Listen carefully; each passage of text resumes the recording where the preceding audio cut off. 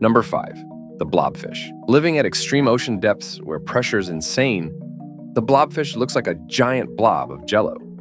It might not win any beauty contests, but hey, at least it survives in a place no human can. Number 4.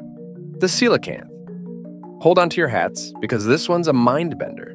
The coelacanth is a living fossil, a creature thought to be extinct for millions of years. Imagine swimming alongside a fish that swam with the dinosaurs. This deep sea wonder is a scientific marvel, but definitely not something you'd want to bump into in the dark. Number 3. The vampire squid. Don't let the cute name fool you. The vampire squid is a master of disguise. This tiny creature lives in the dark depths and has a mesmerizing bioluminescent cape that it uses to attract unsuspecting prey. But here's the kicker it also has sharp hooks on its tentacles that it uses to latch onto its victims.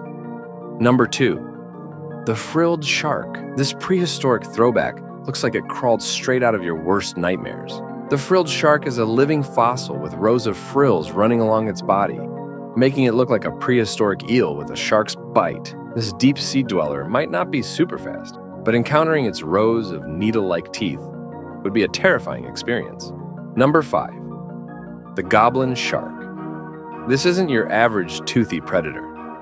Picture a grotesque pinkish shark with a snout that looks like a goblin king's crown. Imagine rows of razor sharp teeth jutting out from its mouth, ready to snatch anything that comes too close. This deep sea dweller might look goofy, but trust me, it's a nightmare come to life. But hey, that's all for today, my monster loving friends. If you like this video, don't forget to like, subscribe, and hit that notification bell for more wild animal encounters. And let me know in the comments below which unseen monster scares you the most. See you next time.